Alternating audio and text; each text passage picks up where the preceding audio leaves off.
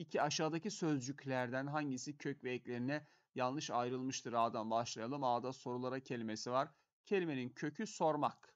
Sormak fiil kök. Daha sonra sormak fiilinden soru ismi türemiştir. Yani u eki fiilden isim türeten bir yapım eki görevinde kullanılmıştır. Daha sonra soru ismine lar çoğul eki gelmiş. Çoğul ekleri çekim ekidir. Kelimenin anlamını değiştirmez.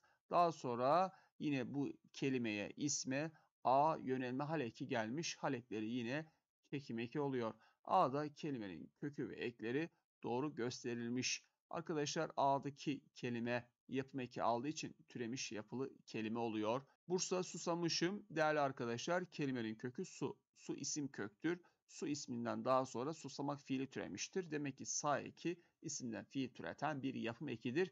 Kelime yapım eki aldığı için kelimemiz türemiş yapılı kelimedir. Mış ekimiz kip eki oluyor. Yani duyulan geçmiş zaman kipi eki. Kip ekleri kelimenin anlamını değiştirmez. Bu nedenle çekim eki oluyor. Im eki ise birinci tekil şahıs eki oluyor. Şahıs ekleri yine kelimenin anlamını değiştirmez. Çekim ekidir. A ve B'de kelimenin kök ve ekleri doğru ayrılmış, gösterilmiş. C gölgemizin, arkadaşlar gölgemizin kelimesinin kökü göl değildir. Şimdi kelimenin anlamlı, bölünemeyen en küçük parçasına kök denir. Doğrudur arkadaşlar.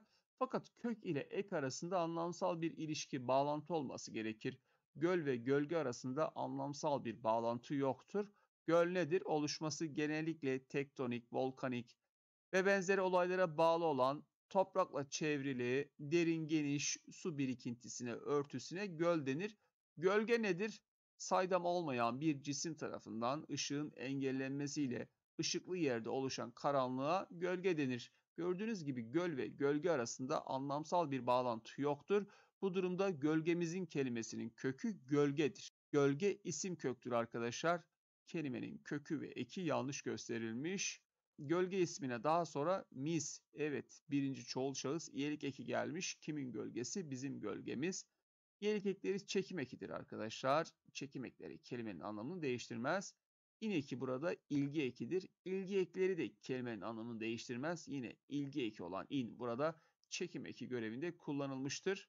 Cevap Ceyhan C'de kelimenin kökü ve eki yanlış gösterilmiştir. Denizli sıkıntılardan. Sıkıntılardan kelimesinin kökü sıkmak arkadaşlar. Sıkmak fiilinden daha sonra sıkıntı ismi türemiş. Yani kelime türemiş yapılı kelime. Kelimenin kökü ve eki doğru gösterilmiş. Lar çoğul eki, çoğul ekleri isimlere gelir. Sıkıntı isim olduğuna göre lar da çoğul eki oluyor. Çoğul ekleri yapım eki değildir. Kelimenin anlamını değiştirmez. Bu nedenle çoğul ekleri çekim eki oluyor. Dan ayrılma hal eki oluyor. Hal ekleri yine çekim ekidir. Kelimenin anlamını değiştirmez ve hal ekleri isimlere gelir. Dan ayrılma hal eki sıkıntı ismine gelmiş. Arkadaşlar ıntı yapım eki ile ilgili birkaç örnek daha verelim size. Akmaktan akıntı, dökmekten döküntü, kesmekten kesinti. C seçeneğinde gölge kelimesinin kökü ve eki yanlış gösterilmiş. Cevap Ceyhan.